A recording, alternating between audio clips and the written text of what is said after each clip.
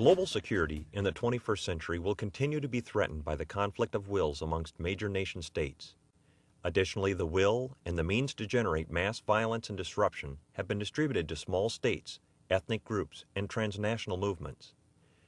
The United States and its coalition allies must be prepared to respond decisively by force in key areas of the world where these potential threats lie, many of which are surrounded by countries with anti access policy and are at great distances from established intermediate support bases. Warfighting concepts developed by the joint forces of the United States have focused on the means by which future forces can successfully conduct joint forcible entry operations in these potential areas of conflict. Partnering with industry, they have produced innovations in command and control, sense and respond logistics, transfer technologies, and platform design, resulting in the transformation of our nation's warfighting capability in the 21st century. The introduction of tilt rotor technology, such as the MV 22 and the Eagle Eye unmanned aerial vehicle in particular, has dramatically changed how future joint forces will conduct missions. Building on the advantages and versatility of these existing tilt rotor aircraft, Bell Helicopter has developed the quad tilt rotor. With a fuselage and cargo capacity greater than a C 130, the quad tilt rotor can internally load up to eight 463L pallets. Cruising at a speed of 280 knots, it has a 2100 nautical mile range and is self deployable from the U.S. continent, allowing it to not only self deploy but ease some of the strain on the already taxed strategic lift assets. With its inherent ability to transfer up to 20 tons internally in vertical takeoff and landing, the quad tilt rotor will become the preferred, if not the only means to convey heavy logistics and armored assets to expeditionary airfields, sea bases, or directly to the objective.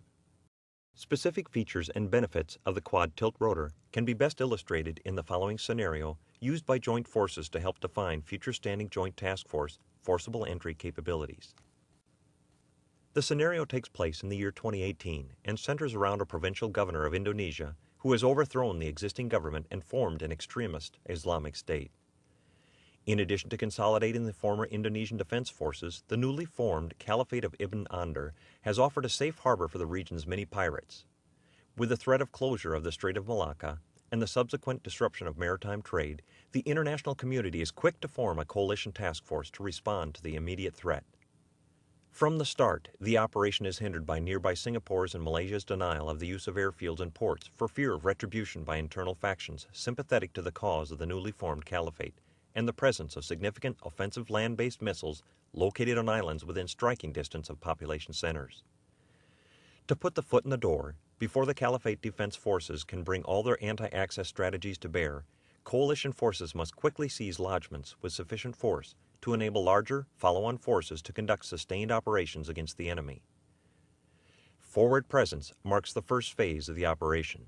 Early on, Air Force and Army QTR squadrons significantly contribute to the flow in of troops by transiting troops of Task Force Green and critical cargo from an intermediate support base in Okinawa and from the U.S. continent to the 3rd Army Regional Flotilla. Originating from Guam, the flotilla contains the heavy support and logistical assets of the Army Task Force and is en route to form with the sea base in the joint area of operations. At the same time, U.S. Marine squadrons of quad tilt rotors self deploy with the 1st Marine Aircraft Wing from Iwakuni, Japan, to the MPFF ships of the sea base. Without access to an airfield in the immediate area of operations, the vertical lift capable assets of the wing rely on the deck space of the sea base. The QTRs provide immediate tactical aerial refueling of MAW assets while they conduct interdiction missions.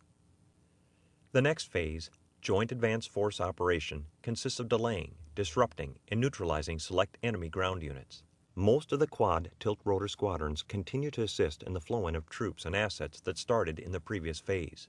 Two AFSOC QTR squadrons, however, provide assault support for the security element of a Special Operations Raid Force from Task Force Green. With a mission of securing a perimeter around the raid objective, future combat systems vehicles transported within the quad tilt rotors can land within two terrain features of the objective and provide mobile firepower as the assault element of the raid force completes its mission. Additionally, Marine quad tilt rotors continue to provide tactical aerial refuel support to the Marine Aircraft Wing interdiction mission forces in the MEB area of operations. When sufficient assets have converged to the joint area of operations, coalition forces advance to the assault phase and seek to defeat enemy forces in key areas in order to enable the uninterrupted flow of follow on forces by both surface and air means. Specifically, quad tilt rotors provide assault support to Task Force Green in the seizure of an airfield at Regnaut. Six squadrons working around the clock convey the bulk of the Stryker Brigade to within two terrain features of the objective. Once on the ground, the vehicles are refueled by quad tilt rotors that provide responsive forward arming and refueling points in the objective area. At the same time, the 3rd Marine Expeditionary Brigade launches both surface and air assaults in the vicinity of Tiku. In this case, quad tilt rotors are critical in conveying engineer equipment to the objective, where they will be engaged in building an expeditionary airfield and port.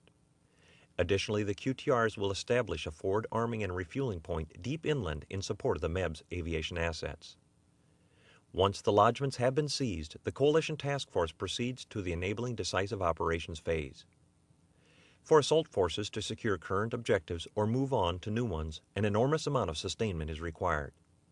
Both the Army Stryker Brigade and the Marine Expeditionary Brigade will require resupply in excess of 2,000 tons per day in order to sustain operations up to 225 nautical miles inland. To meet this requirement, the national imperative of conducting future joint forcible entry operations via sea base requires the parallel design of platforms, air connectors, and interoperable payloads.